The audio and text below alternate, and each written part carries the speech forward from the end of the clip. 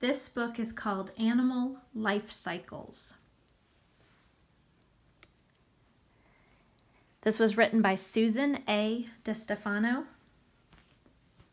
And first, we're just going to do a picture walk. Let's look through at all of the beautiful and amazing photos in this book.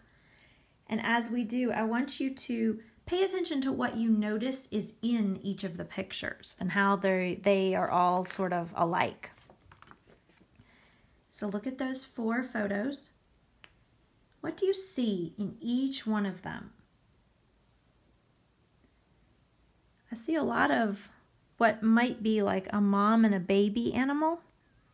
But then that's that's interesting. Those don't look like small versions of ladybugs.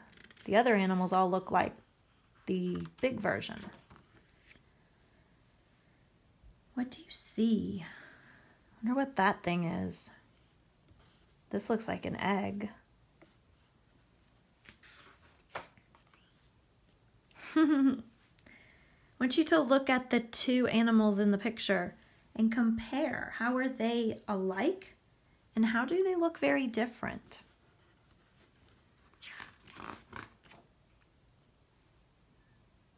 Again, how are they alike?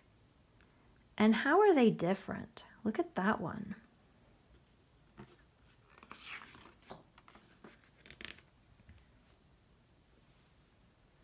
Ooh. That must have something to do with spiders. I wonder if those are spider eggs. I wonder what they're inside. Looks like a lot more parents and babies.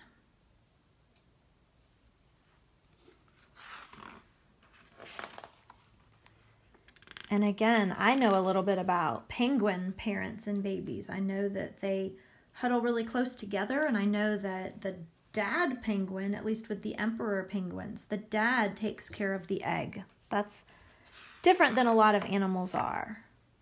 Ooh, and I wonder what he's looking at in that jar. All right, let's go back and read, thinking about what we saw in all those pictures. Life is like a circle that goes around and around. Animals are born, they grow, then when they are old enough, they have babies, and life begins again. We call this the life cycle. So it's kind of interesting to think all these little baby animals one day will grow up and probably have babies of their own, and that's the life cycle. It starts all over again. Life begins all living things have a life cycle. For most animals, the life cycle begins when the female, that's a name, a science word for girl, when a female lays an egg. When the baby animal is big enough to live in the world, it breaks out of sh its shell. The egg hatches. So, I'm noticing a lot of pictures that must have something to do with eggs. This says the mother spider carries her eggs in a silk sack. The eggs will hatch in warm weather. This caption says the caterpillar is breaking out of its egg. In time, it will become a butterfly. That's pretty crazy to think that animal is going to become a butterfly. Look at how unusual that egg looks compared to some of the eggs we're used to seeing. Not all animals hatch from eggs. Most mammal babies grow inside their mother's body and are born alive. Horses, monkeys, and cats are mammals. Mammal moms take care of their babies after birth. The babies feed on the mother's milk. So we have kangaroos. Do you see the baby kangaroo? I know that animal actually lives inside a pouch. So it's born alive just like other mammals, but then it lives inside that pouch of the mom until it's big enough to be able to walk around on its own. These are orangutans, so similar to monkeys. This says whales are mammals. You might think whales are more like fish, but they're actually mammals like we are. A baby whale gets milk from its mother. Fish don't do that. And the bottom caption says a bobcat litter is usually two or three kittens. So that mom might have two or three babies at one time. Growing up. Most newborn animals look like their parents when they're born. Others grow to look like their parents over time. Animals take different amounts of time to grow up or mature. You might see that word, mature, so growing up. Some take only a few weeks, but others take years. We have tree frogs.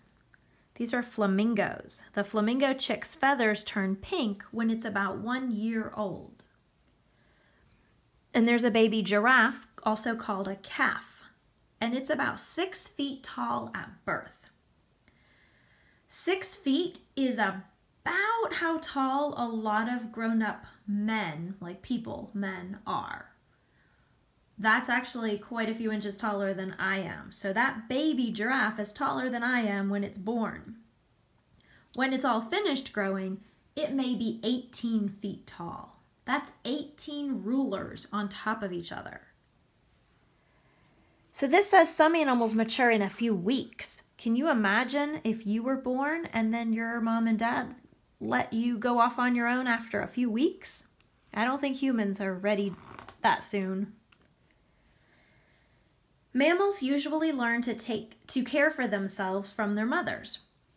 They learn to hunt, to keep themselves clean, to find shelter, and to keep safe. Some animals that hatch from eggs must learn on their own. Their mothers leave just after laying their eggs. Baby sea turtles hatch on the beach. Then they scurry to find their own way to the water. So they don't actually meet their mom and do anything with her. This is an ostrich with the babies. Mother bears teach their cubs to fish. So that's a, an example of a parent who does help take care of the baby and teach the baby new things. This is the egg sac of a black widow spider. Babies are hatching inside the sac. So those are actually the baby spiders and I don't think the parent is anywhere around.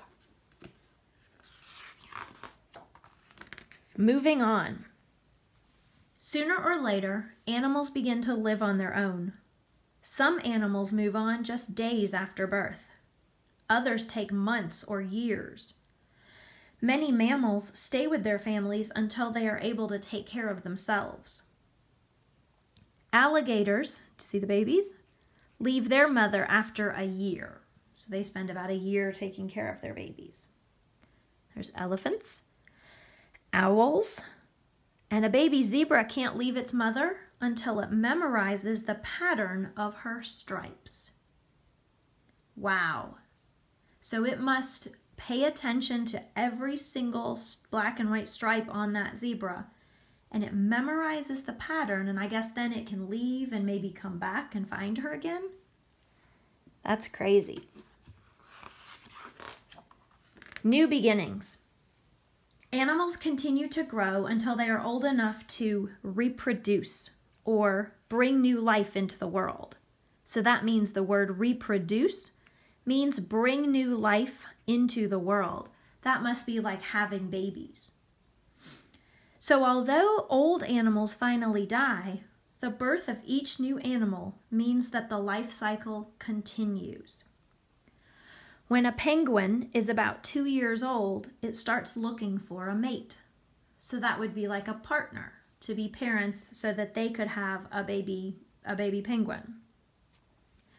This little chart here says animal lifespan. A span is how long or how big something is. So this must be how long an animal lives. And I'm noticing on this column it has different names of animals, and over here it has amounts of time. So this must be how long each of these animals typically lives. So a house spider, just a regular spider, lives between two and four years, and then it dies. A fruit fly only lives for one month. So it's hatched out of an egg and then its whole life is only about a month and it dies.